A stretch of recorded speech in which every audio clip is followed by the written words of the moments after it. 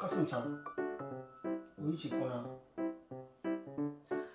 어우 안돼 아빠가 뜯어줄 테니까 닭뼈는 절대로 삼켜서는 안돼.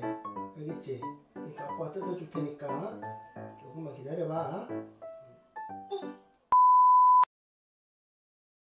어? 배야?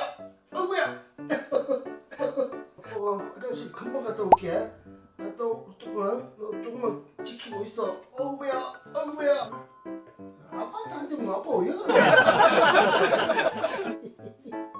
아빠 갈까봐 붙들고 있는 거야?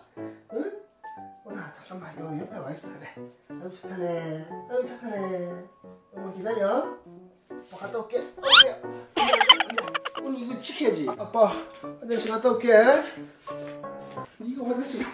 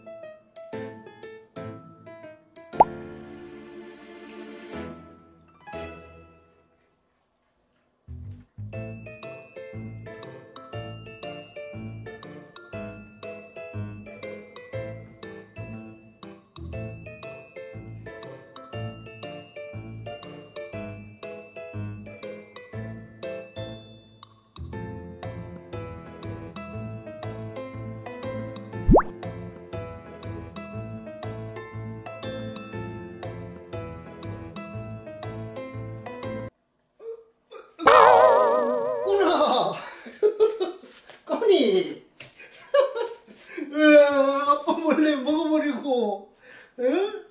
꼬나 자식이 야 국물 다 먹어버렸네. 꼬나 어우 국물이 없어. 어? 아우 진짜 아야. 꼬니하고 국물 다 빨아먹어버렸어 아빠는 못 자라고. 이래 손으로 줘도 손은 절대로 안 깨물어. 응, 아유 예뻐라. 얼마나 세밀한지. 귀여워.